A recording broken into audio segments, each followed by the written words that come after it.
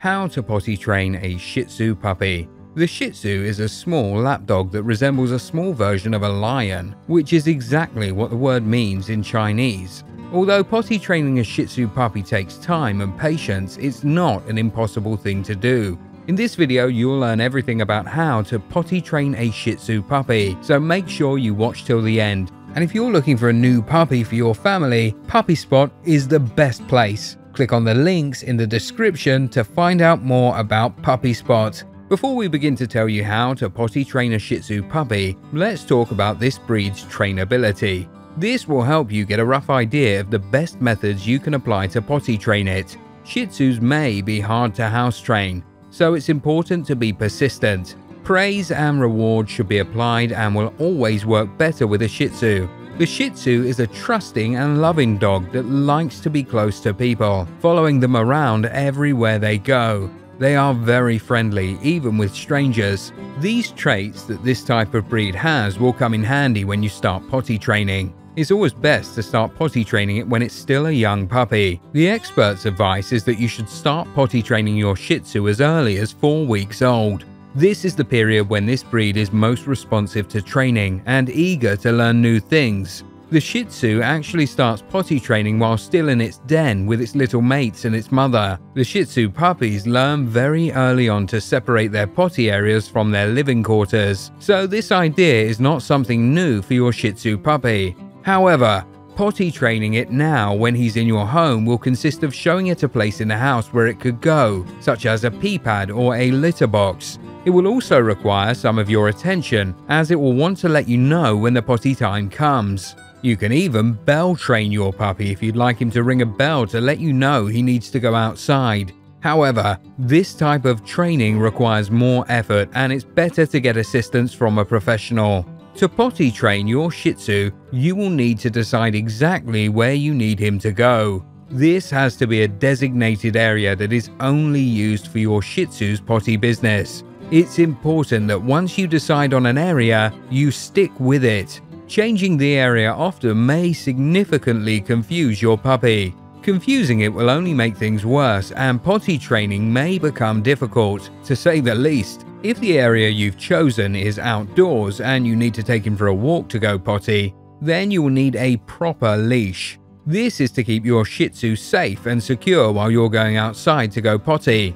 If you're taking him into a safe fenced in backyard, there are some things you need to consider. You need to be prepared for a trip into the backyard in the middle of the night, leaving your bed when it's nice and comfortable.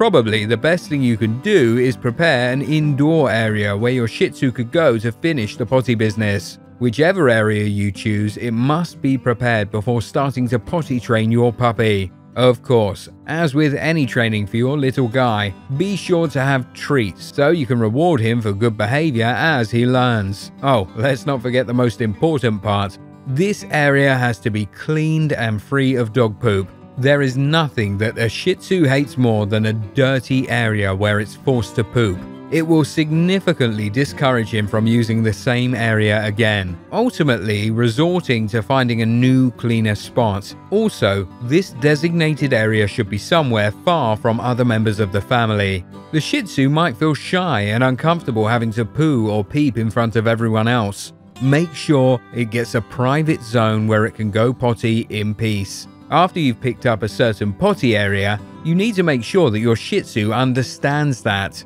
You can't let your Shih Tzu start playing around in this area, confusing it for a playground. To make sure that it doesn't misunderstand or misperceive this area, use the command Go Potty and indicate with your finger stay there to make sure that your puppy is doing just that. Besides the Go Potty command, while teaching your dog to use the same spot, you have to choose a reward word. A reward word could be anything like good potty or good boy. Whenever you take your dog to the designated area, pass the reward command in a really happy and friendly tone. And when your dog is done, pass the reward command again along with praising the good behavior. Your Shih Tzu will soon start associating the reward command with good bathroom behavior. Every time your Shih Tzu goes potty in his special area, make sure a treat is waiting for it. If he goes outside but not in his special area, you can still treat him. but try to make sure he makes it to the spot the next time. If your pup has accidents inside the house, redirect him by taking him to his special spot, but do not treat him. The way you react to accidents is also very important. Maintain your calm regardless of how messy the incident is. The Shih Tzu is emotionally intelligent and can sense your anger or frustration.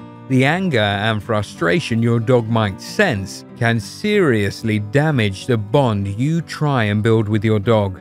As it's a small puppy, it's very hard for it to hold its bladder that's why you should be understanding and tolerant. Your Shih Tzu puppy should be able to hold his bladder for about one hour for each month he is old. This means if your dog is about 3 months old, he can hold it for about 3 hours.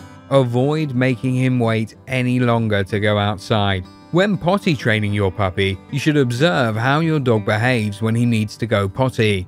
This is important, especially when you begin potty training it as it needs your constant guidance. Anytime you catch your Shih Tzu puppy sniffing in the house or circling, he is likely looking for a place to go potty. If you catch him doing these things before an accident indoors, get him to the designated area quickly. The ringing bell method is also a great way of training your dog to go potty. You start by introducing your puppy to a ringing bell. Show your Shih Tzu puppy a bell he will ring to let you know when he needs to go potty. Let him sniff the bell and ring it so he can hear what it sounds like.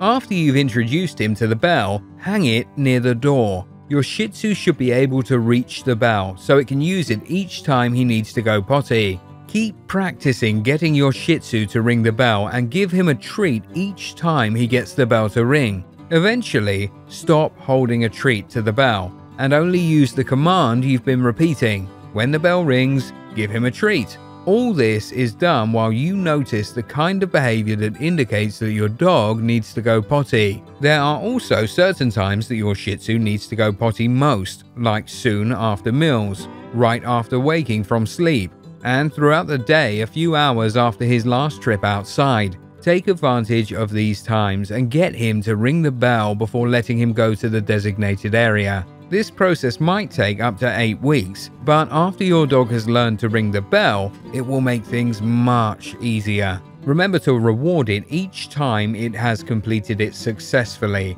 and be patient if your dog meets an accident. Try to stay on top of getting your Shih Tzu puppy out in time. So, what do you think about the how to potty train a Shih Tzu puppy? Let us know in the comments and share your experience with other interested dog owners. And if you're looking for a new puppy for your family, Puppy Spot is the best place. They only qualify the highest quality breeders in the country and have already placed over 150,000 healthy puppies in loving homes. Click on the links in the description to find out more about Puppy Spot. And if you found this video helpful, it would be great if you subscribe to our channel so you don't miss new videos and learn more about dogs every day. Thank you so much for watching.